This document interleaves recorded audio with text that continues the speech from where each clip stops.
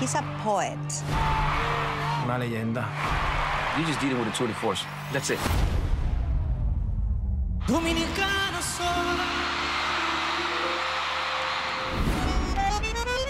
Allá atrás están bien. To appreciate MetLife, you need to understand where bachata started. You need to appreciate what happened in the past.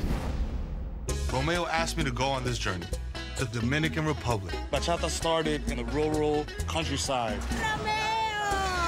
The genre that was really reserved for poor people on the outskirts. Es un orgullo tener a un representante internacional. He made bachata cool. He broke the boundaries of bachata not being accepted to bachata being respected. You took on that responsibility of pushing that culture forward because bachata is really hardcore Dominican music. I'm gonna always follow my gut. This is my gift to DR for so much they've given me.